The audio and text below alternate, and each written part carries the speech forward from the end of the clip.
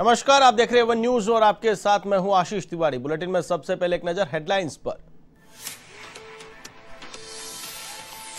पश्चिम बंगाल में छठे फ़ेज़ की वोटिंग जारी, आज चार जिलों की तैयारी सीटों पर हो रहा मतदान। बीजेपी के राष्ट्रीय उपाध्यक्ष मुकुल रॉय सहित 306 प्रत्याशियों की किस्मत का होगा फैसला।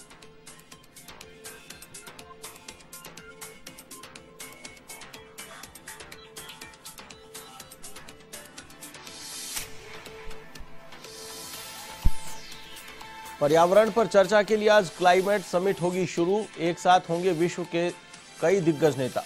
कोरोना महामारी के चलते वर्चुअल होगा सम्मेलन। पाकिस्तान के अलावा 40 वर्ल्ड लीडर्स करेंगे शिरकत।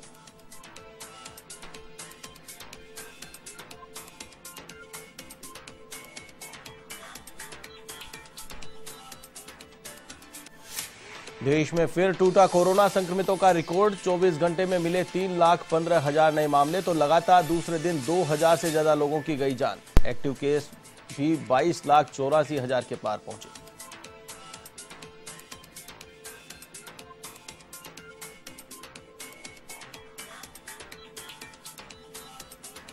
महाराष्ट्र में लॉकडाउन रिटर्न, रात आठ बजे से एक मई तक कड़ी पाबंदियाँ। शादियों में 25 लोगों को इजाज़त तो सरकारी दफ्तरों में 15 प्रतिशत कर्मचारियों के निर्देश।